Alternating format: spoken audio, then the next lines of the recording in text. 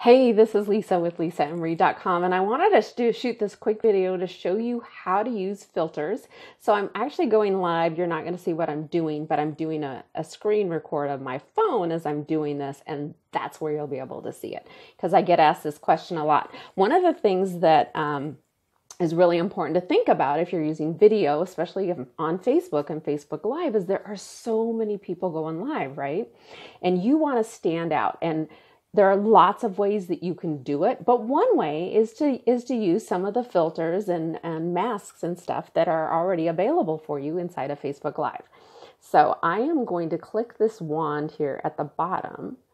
And when you do that, a little menu thing pops up. So you've got the star, you've got um, what looks like a clock, and so that's some filters, and then a mask. Those are the mask ones. So what's really cool about these is that got a having a bad hair day, don't have makeup on, no problem.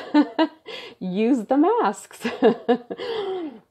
Some of them will hide everything. It's pretty cool. Um, it's one of one of the things that I love to use because I'm a fitness instructor and oftentimes I'm trying to do um, my videos like after I've worked out and I'm all sweaty and the makeup is all run and the hair is a mess. And so these are really cool to use, and none of them are popping up.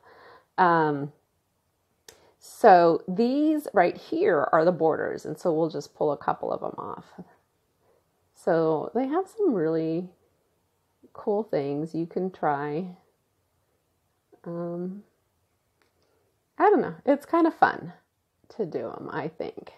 So, see? So let's see if we can get the mask to pull up. I don't know why they wouldn't pull here. They pulled up here. Okay, so here is just um, a little bit of some of the mask. We'll do this. So see, look, no makeup. You cannot even tell. How about this one? You like my shades? so this is my favorite when um, you're having a bad hair day. No problem, can't tell. I just noticed this one today. I was I'm going to use this one later. So see? So have some fun with it. There is now there is never a reason to not go live. So these uh the stars here, these are like some pretty cool effects. Let's see if we can get them to come.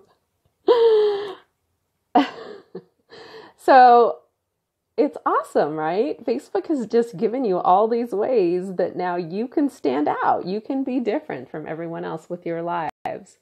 So check them out, have some fun, and now you never have to be boring again. I hope you got some value from that. Um, if you did, please like, comment, and share. And if you um, Want to know more about how to use Facebook Live? I do a five day video challenge uh, every couple weeks. So drop me a five and I'll put you on the list for the next one.